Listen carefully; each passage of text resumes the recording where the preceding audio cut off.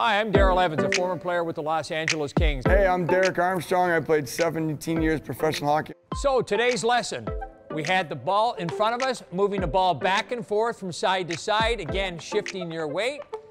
We're going to do that one three times for 30 seconds, and we're also going to bring the ball over to our strong side. Again, just moving the ball back and forth, heel to toe, keeping your head up the entire time with your knees bent. You do this three times a week for 15 minutes, you're really going to improve your skills.